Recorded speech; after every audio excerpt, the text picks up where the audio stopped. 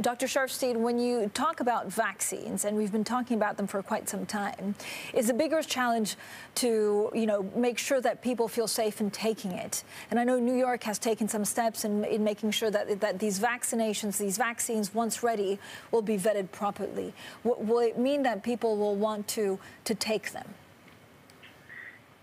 That's absolutely correct. I think that vaccine acceptance is extremely important because you can have a great vaccine, but as they say, vaccines don't save lives, it's vaccination that saves lives, and people are going to want to have to take it. So, um, what is what that's about is the confidence that people have in the process, and unfortunately, I think the White House has undermined that confidence by putting it in such a intense political context, and I think that's why there are a number of steps that both the FDA can take and others are thinking of taking to depoliticize it and just make it about, you know, the science in a way that can inspire doctors to feel confident, and as a result, uh, many people to feel confident about it. Professor, this came up four, five, six times this weekend. Let's get an update from you on a Monday as it gets a little bit colder out there.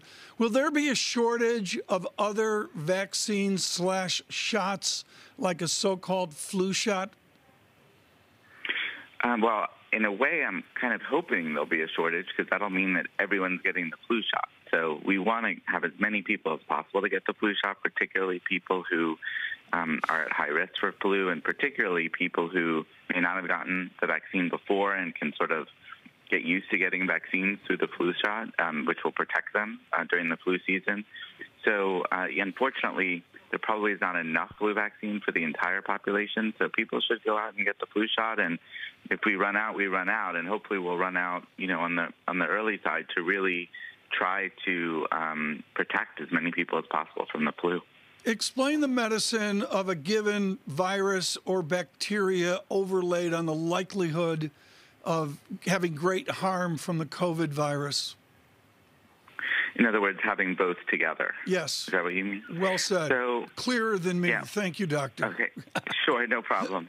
well, I mean, th- there are a couple of problems, you know, it, you, that could come up. One is just many more sick patients. There are some years where the flu, you know, fills up the hospitals by itself, and then on top of that, you would have a pandemic. So that that's a really scary scenario. I think it's less likely if people wear masks and keep their distance because the same things that keep people from getting COVID, also keep people from getting flu. And in the countries in the southern hemisphere where people are taking a lot of precautions, they've had very mild flu seasons in their winter. So that's what we're hoping. However, if people disregard masking, you know, and are going out and doing their thing, flu could start circulating, and you're going to see even worse problems there, both with COVID and flu. And of course, the process of getting medical care for flu will bring people in contact with people with COVID. And so, you know, I think either places are going to do relatively well on both or relatively poorly on both. Um, Joshua, what exactly are monoclonal antibodies? I mean, uh, you know, from extensive reading, as far as I can make out, they're the, the, the, guys that basically protect you, right? They're made in a lab and they protect you against inf infection.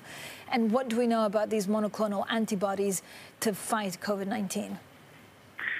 Sure. It's a little bit like the plasma. You know, plasma is just people's, um, all the antibodies that people have are in the plasma. Monoclonal antibodies are trying to take either one or maybe a few of those antibodies that, are thought to be the most effective to protect against COVID-19, and then they make a lot of them um, in in a um, you know that they produce them. It's not taken from somebody, and and the idea is that they could be given to people who maybe are just exposed to the virus but haven't even gotten sick yet, and it could keep them from getting sick in the first place.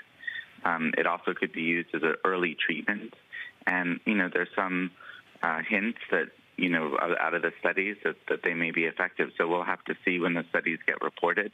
But that's another like tool in the toolkit to protect people. Is is a virus now less deadly? And is it because we know how to treat it better, or you know, what's the difference between now and, and last March? Well, I think uh, I don't think the virus has changed. I think as much. Um, uh, it's possible the virus may have mutated a little bit, um, but more likely it has to do with the fact that they're different. Uh, lower people at lower risk are getting the virus. So, as a proportion of people getting sick, fewer people are dying.